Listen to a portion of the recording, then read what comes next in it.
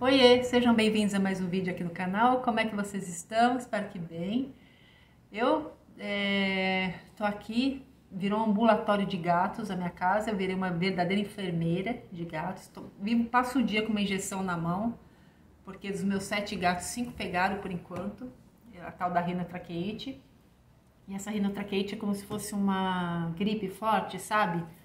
Fica tossindo, tosse bastante, espirrando, os olhos é, lacrimejando. E, e eu tenho o tratamento é duas vezes por dia eu dou uma injeção de antibiótico. É, você pode dar tanto oral quanto é, injetável. Oral para gato eu consegui dar para uma só que ela já está melhor, que foi a que primeira que começou, né? Mas os outros não tem condição, eles cospem, é solução, sabe? Eles, ah, primeiro que você não consegue dar, segundo que eles cospem, você desperdiça todo o medicamento e eles não tomam, então não melhoram. Então a solução foi dar injeção. Como eu sei dar injeção, o veterinário falou assim: não, você dá injetável, primeiro que é mais rápido, que eu pego, como é, é subcutâneo, não é intramuscular, é subcutâneo, então é mais fácil. Você só puxa assim o pelo e, e aplica. Meu filho me ajuda. Só que são 10 injeções por dia, né? Então a minha vida é ficar pegando o gato em cima de muro, embaixo de cama, é, não sei aonde, eles estão só se escondendo de mim, né? Porque até os mais bonzinhos pegaram um pavor de mim. Eles querem ver qualquer um na frente, menos eu. Porque já sabem que vão tomar uma injeção. E aí isso por alguns dias. Legal, né? Ai, que, que bacana, que coisa gostosa. Essa, essa daí foi a. Ih, é, essa doença também eles fazem bastante sujeira, porque nessa deles estarem tossindo, adivinha o que acontece? Cada tossida é um flash aqui, né? Eles vomitam. Então tá, ah, tá gostoso, tá uma delícia, sabe? Essa, é, essa vida de, de enfermeira de gatos. Bom, tomara que eles melhorem. Uma já melhorou, até tive que chamar a veterinária aqui, que tem uns que não estão respondendo muito ao, ao tratamento, não sei o que está acontecendo. Aí o guru também agora passou a noite chorando e hoje ele não quis comer, coisa que nunca aconteceu em 12 anos de vida dele. Ele sempre acorda de manhã, eu misturo a ração com, com um pouco de comida que eu faço, né? Porque daí eles já comem, cada um come na sua panelinha, eu já lavo a panelinha e guardo. Eu não deixo comida durante o dia, daí eles voltam a comer à noite. À noite eu só ponho ração. Porque eu quero que eles comam logo para já sumir com a comida, porque eu tenho pomba, tem pomba aqui, né? E, e ração chama pomba, então eu não deixo ração assim à disposição lá fora. Eu fico ali do lado, eles comem, eu já lavo, eu já assumo com tudo e, e deixo tudo limpinho para as pombas subirem daqui. E ele não quis comer, isso nunca aconteceu, não sei o que ele tem. Aí falei pro veterinário, falei, vem aqui, porque para eu levar essa galera para lá, eu vou ter que alugar a Arca de Noé, né? Porque é o guru, achei, também tá com uma tosse que eu não sei o que que é. Cinco gatos, como é que eu levo esse povo para lá? Né, sem condições. Então ele vem aqui, ainda bem que ele vem, porque ele é médico das antigas, sabe? Ele, ele cuidava dos cachorros da minha avó. E ele vem, ele já, já sabe. E, é, e bom de, de médico das antigas também é que eles não precisam de muito exame, né? Porque hoje em dia você vai nessas clínicas assim, toda. Tem uma clínica aqui que é toda chiquetosa, toda cheia de aparelho, de não sei o quê. Uma vez eu levei um gato lá é, mas foi tanto exame, mas tanto exame, mas tanto exame que pediram para ele, no fim ele acabou morrendo, mas eu gastei uma fortuna de, de, de tanto que de exame que pediram. Esse não, esse do, chama Dr. Sérgio, né, esse antigo. Ele olha para o cachorro, ele já, assim, de olhar, né, esses antigos, eles não tinham esses recursos todos, então eles tiveram que eles tinham que trabalhar com que eles, né, com apalpar, com que eles viam sintomas e tal. Ele é, é, muito difícil ele pedir um exame para mim, assim. O guru ele já pediu, né, uma vez exames, mas normalmente ele vai pela experiência e dá certo, sabe? Então ele vem aqui, eu já falei, ó, já vem preparado para cenário de guerra. A injeção, tudo, já, já dá um jeito lá, porque eu não tô aguentando mais esses bichos tudo doente, assim. É... E o, o, o, o assunto do vídeo hoje é o tempo, né?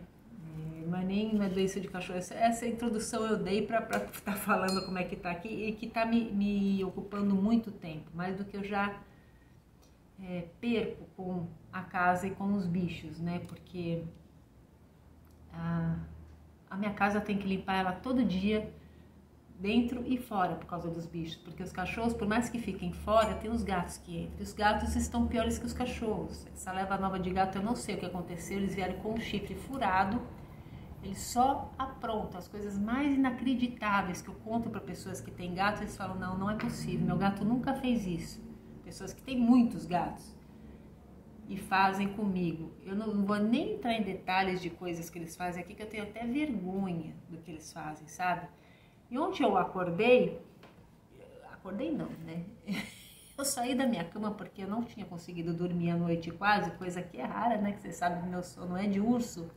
E para conseguir tirar meu sono é porque o barulho estava alto. E eu estava com barulho de com igual de britadeira na orelha cachorros filhotes da vizinha passaram a noite toda chorando. Que agora eles estão grandes, eles choram e berram, né? Então eles passaram a noite toda chorando. Aí meu filho não dormimos. Tinham passado o domingo inteiro berrando e chorando e a noite toda e ontem até um certo horário até eu ter um piti aqui. Eu comecei a dar uns berros, meu estado zen foi para as cucuia, baixou Baixou a doida aqui, comecei a dar uns berros, porque eu acordei, saí da minha cama, abri a porta do meu quarto, vocês não têm noção que esses gatos fizeram aqui, mesmo doentes. Lembra que eu plantei a aquela sapatinha de judia, as taiobas e a coleus num, nos vasos, né?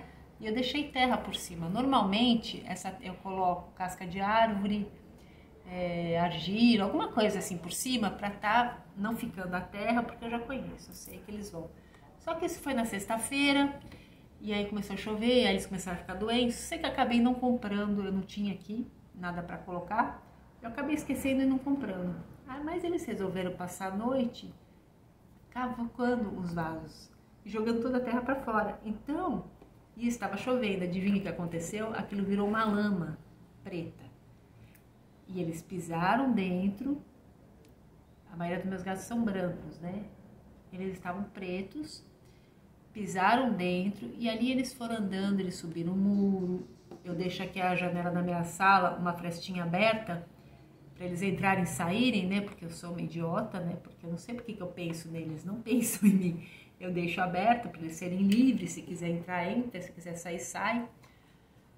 E então eles foram sujando tudo aquilo, pularam na meia. Onde eles foram, que vocês puderem imaginar, a cozinha, eu tive que tirar tudo da cozinha, porque que eles aprontaram na cozinha. Então, eu olhei para aquilo de manhã, eu já estava estressada. Eu falei, não, não. Eu tô, tô pedir para alguma nave me abduzir, para eu ser, sabe, assim, teletransportada para um lugar que não houvesse mais bichos, assim. Estava chovendo, eu falei, não, acho que eu vou para a praia, vou dar uma volta na praia, vou olhar o mar, mas nem isso dá porque estava chovendo, né? Falei, vou subir o morro aqui. Eu falei, não, dá de encontrar um bicho, né? Não quero ver bicho. Pra lugar que não tenha bicho. Aí eu falei, não, né, só tem eu mesmo, né? Não tem onde correr. Quando só tem você para limpar, você tem que limpar. E você tem que pagar as burradas que você fez na tua vida. Aí eu fico me xingando. Mas eu me xingo, mas eu me xingo, mas eu me xingo, sua burra, inconsequente, sem noção. Eu me xinguei tanto, mas tanto, mas tanto, porque eu estou colhendo atitudes que eu fiz. Porque que eu fui pegar. Eu já tinha tido uma leva de gatos, mas eles eram tranquilos. Mas todos morreram. Eu podia ter pego um, né? Falar, ah, eu gosto de gato, vou ficar com um. Não, não.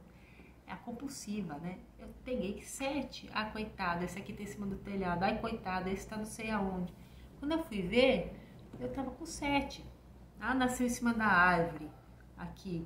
Ah, os que eu não vou atrás, vem gente que lembra de mim, eu sou lembrada nessas horas. Todo mundo lembra de mim. Quando vê um bicho assim, abandonado na rua, um gato que nasceu não sei aonde, eles lembram. Ah, Evelyn. Aí eles vêm atrás de mim, só aí que lembra de mim. Vem com os bichos, ah, achei não sei aonde, porque eles sabem que eu vou pegar, né? E pego. Peguei. Enfim. Aí eu tô colhendo o que eu plantei, né? Porque a gente colhe o que a gente planta. E aí eu ontem me xingando e limpando tudo, né, no meio da água, porque tava chovendo, estava encharcada. Um verdadeiro show de horror. Aquele fundo musical daqueles cachorros na minha cabeça latindo, um, um gruído assim, bem agudo, sabe? aquilo foi me enlouquecendo, aí meu filho acordou, começou a reclamar na minha cabeça, aquilo foi me enlouquecendo, aquilo foi me enlouquecendo, eu falei, não. Eu vou ter um treco, eu tô, sabe quando você começa a ficar meio sufocada assim? Porque eu não tinha para onde correr, eu não tenho quem faça por mim, entendeu? Eu tenho é isso, não tem, e assim, não bastasse os meus bichos, tem os da vizinha que estão incomodando demais. Eu comecei me deu um, um tipo um, um piti. Meu lado, meu estado zen foi para as cucuia, baixou a barraqueira aqui. Eu comecei a dar uns três gritos ali atrás, mas saiu o gato para um lado, o cachorro para o outro. As vizinhas que eu achei que tava todo mundo. Eu falei, eu acho que falei pro meu filho, eu falei, Pedro, eu acho que tá todo mundo morto aí, porque esses cachorros estão um dia e meio latindo sem parar. Não estou exagerando em nada, sem parar, latindo. Pi, eu acho que ela, ou elas saíram, foram viajar e deixaram esses cachorros aí, ou elas morreram. Foi eu dar um piti, mas foi três berros. Os cachorros sumiram, sumiu todo mundo, o gato sumiu, sumiu tudo. Foi, uma benção na minha vida. Sumiu, até a palestra sumiu, sumiu tudo. Eu penso que não, ah, fora que ali tava já sem limpar uns dois dias, né? O cheiro que tava vindo daquela casa eu escuto mangueira, a gente varrendo, elas limpando, mandando os cachorros calar a boca. Eu falei, olha que maravilha, a gente tem que tomar uma atitude na vida. A gente não quer arrumar confusão, a gente vai se controlando e vai tomando isso tudo pra gente, né? Ah, não, não quero falar, ai que chato, ela é legal, ah, não sei o que, não sei o que lá. Aí você vai tomando pra você, né? Passando aquela raiva sozinha. Olha que libertador. Eu resolvi meu problema com três berros. Os cachorros sumiram, dormiram o dia inteiro.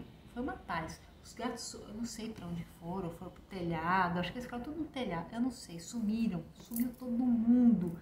Limparam a casa da vizinha. Parou de vir aquele cheiro insuportável de lá. Os cachorros pararam de latir, que elas devem ter dado uns corre neles. Olha que, olha que maravilha. Olha que maravilha quando a gente dá uma de louca tem que dar uma de louca de vez em quando. A gente quer ser muito zen, ficar se controlando. Ai, não quero arrumar confusão.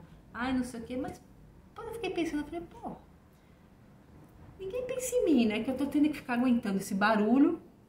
Ninguém tá conseguindo dormir, tá incomodando, o cheiro é insuportável. Por que, que eu tenho que ficar aguentando o, as coisas dos outros, né? A gente tem que se impor de vez em quando, tem que, que dar uma de louca, né? É bom que o povo, o pessoal só respeita louco. Quando você é muito bonzinho, eles confundem bom com bobo. Isso uma vez eu escutei e é verdade. Se você é bom, o pessoal te trata como se você fosse bobo, que você pode pisar na tua cabeça. Só respeitam quem é sabe se impor. Não é que a pessoa é ruim, a pessoa sabe se impor e tá certa. Ela tem que se impor desde o começo em tudo, em tudo. Em relacionamento, com qualquer tipo de relacionamento, tanto de casamento, de todo, todos os tipos de relacionamento, amizade, tudo, tudo, trabalho, você tem que impor os seus limites, porque senão eles pisam na tua cabeça para não falar outra coisa. Pisa mesmo. Ah, mas foi até depois, no fim, eu, tava, eu ria sozinha. Falei, olha só como eu resolvi meu problema. Eu pus para fora, dei três gritos aqui, foi libertador esses gritos. O povo limpou a olha que maravilha que foi. E o, o beija-flor que ficou aquele que entrou aqui em casa, ele tá sempre andando aqui, eu sei que é ele porque ele ficou com um, um, um rabinho só de um lado, né? Porque eles têm dois assim, ele ficou com ele, toda hora ele vem aqui. Ele, ele voa aqui na frente da, da minha janela e fica olhando. É... E outra coisa também, né? O tempo que, a gente, que, eu, que eu perco cuidando assim, sabe, limpando a casa. Antes eu demorava X tempo, hoje tá, tô demorando mais, apesar de eu ter menos cachorros. Eu não sei o que. Eu tava falando com meu filho, eu falei, eu não sei o que tá acontecendo aqui. Eu não sei o que tá acontecendo aqui. É, tá cada vez mais trabalho. E eu perco esse tempo, e é um tempo que não volta, né? É assim, o tempo que eu já perdi cuidando de bicho na minha vida e cuidando dos outros. E ó, e é tempo perdido, ó tempo perdido. Não falar, ah, vou ficar com esse mimimi, ah, não, não é. É perdido, é perdido porque não volta atrás. E agora que eu tô mais velha, eu tenho que correr atrás do tempo perdido de alguns aspectos da minha vida. E é mais difícil eu correr atrás desse tempo perdido, assim, Quando você é mais velho, muitas portas se fecham, muita coisa muda na tua vida, tanto fisicamente quanto para trabalhar, sabe? Tudo muda. E você tem que correr atrás de coisas que você deveria ter corrido lá atrás e você abrir mão para ficar limpando sujeira alheia, que é bem é um vídeo de desabafo, desculpa, tá? Eu tenho que falar com alguém, eu vou falar com vocês hoje. Quem sabe tem alguém passando, assim, igual eu não, né? Porque surtada, inconsequente, assim, de pegar esse tanto de bicho, é só eu mesmo, mas é, eu sei que tem pessoas que, que abrem mão de muita coisa na vida, sabe? Pra estar tá cuidando de outros, outros qualquer coisa. E depois lá na frente tem que correr atrás do tempo perdido, que é bem isso, né? E é mais difícil, é, porque a gente tá mais velho, é, as coisas modernizaram, às vezes a gente não conseguiu acompanhar, né? Por mais que a gente tenta, né? Que eu eu tento aprender, sabe, é, assim, essas modernidades, principalmente negócio de rede social. Eu que trabalho com isso, né? Eu tenho minha loja, meu Instagram, minha loja online e tal. Mas é, eu até peguei uma, uma moça, uma, uma menina do marketing digital, né? Eu tava conversando com ela, ela me desanimou tanto, porque ela falou, não, eu falei, dá uma olhada no meu Instagram, ela falou assim, ah, é melhor começar um novo, porque tá muito ruim. Tipo, assim, eu parei no começo do Instagram que só postava foto bem ruim, de má qualidade. Qual que é a tua câmera? Ah, mas você faz reels, não sei o quê, história. Eu fiquei olhando, eu falei, gente, que trabalho, que preguiça. Começou, não, ela foi falando, eu fui ficando assim, ó.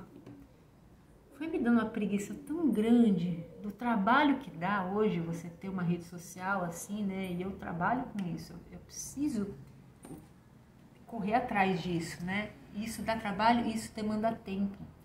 E eu perco, perco muito tempo cuidando disso, sabe, de, de limpeza. Por exemplo, agora eu fui gravar esse vídeo, tive que parar, porque um já passou mal ali. Aí então eu tenho que limpar, né? Que ele passou mal, mas no meio do caminho eu já encontro outras coisas, né? Que o cachorro fez não sei o que e tal. Então, uma dessas eu já perdi meia hora, eu já perdi o fio da meada, da meada, sabe? E eu tenho esse problema com foco também. Né? Eu, eu, eu preciso ficar assim em alguma coisa, né? E toda hora eu sou interrompida com algum, alguma, algum, alguma intercorrência que acontece aqui em casa. Então aí ela foi falando comigo, foi falando, eu fui ficando num desânimo. Pensa no desânimo da pessoa, eu fui ficando desanimada. Eu falei, ai gente, esse negócio de rios aí. Ah, você tem que pôr uma música. Dançar nem pensar, né? Dançar nem pensar. Mas tudo bem, vai que eu faça um, tipo, um, filmando o que eu tô fazendo e tal. Mas e pra editar aquilo? Dá um trabalho, vocês não têm noção do trabalho que dá. E isso, assim, é... se eu tivesse mais tempo, talvez eu conseguisse acompanhar. Aí eu começo a ficar nervosa, sabe? Então, assim, eu começo a ficar nervosa porque eu tô limpando, mas minha cabeça tá ali. Aí eu preciso fazer isso, eu preciso correr atrás disso, né? Porque eu estou correndo atrás do tempo perdido com uma idade um pouco mais avançada, entendeu? E aí eu começo a me dar nervoso, começo a me dar tipo um desespero, sabe? Porque eu não, eu não tô conseguindo fazer, sabe? Porque eu tenho que produzir as coisas que eu, da minha loja. É, eu tenho aqui o canal, né? É, eu tenho tudo isso ali, eu tenho três filhos, é, eu tenho que é, esse, é, correr atrás desse negócio de mídias, né, de, de aprender, de tal. Eu não tô dando, sabe? Aí começa a me dar, começa a ficar nervosa, começa a me dar um desespero, sabe, de não estar tá conseguindo acompanhar, tá? E, e perdendo tempo com coisas idiotas, que é secar gelo, é simplesmente secar gelo, porque amanhã a hora que eu acordar, eu vou ver todo de novo o mesmo cenário, sabe? Não tem uma folga. Não é igual você que você mora numa. Hoje eu até vendo. Ih, hoje o vídeo vai longe. Tava vendo um vídeo de uma moça dando dica. É. Como, você, como fazer para você ganhar mais tempo? Porque às vezes eu tô cozinhando, eu vou escutando os vídeos, né? É, como fazer para você ganhar mais tempo, não perder tanto tempo? Eu falei, deixa eu escutar isso aí. falei, gente, a pessoa reclama de barriga cheia, né? Os motivos dela perder tempo, assim, é tipo, ah, como é, ir no supermercado no dia que o supermercado está mais vazio, que aí você perde, não perde tanto tempo no supermercado. Ah, quando é, limpar a casa uma vez por semana, sonho de consumo. Assim, meu sonho de consumo é fazer uma faxina só uma vez por semana e aquilo durar, assim, né? Sabe? Você pegar uma pessoa, até. Vai, você pega alguém para te ajudar, aí vale a pena, né? Ela te faz uma faxina boa uma vez por semana, você vai conservando os outros dias. Olha que sonho de consumo. Eu falei, gente, é filho de Deus. O que, que você fez com a tua vida? Eu tenho que fazer faxina todo dia em tudo, né? Então, é, ah, é, é, é isso. Gente, desculpa aí. Mas assim, se alguém tiver com pena, querendo arrumar um monte de bicho, pensa, assiste esse vídeo e fala assim, não, não vou pegar, vou pegar um, dois gatos, um, dois cachorros, não passa disso. Você vai se arrepender com certeza, principalmente se você não tiver uma rede de apoio, né, que hoje a palavra moderna é rede de apoio é, para estar tá te ajudando, né? Se for só você, você vai se arrepender, porque é, assim, antigamente né, as mulheres trabalhavam só em casa, né?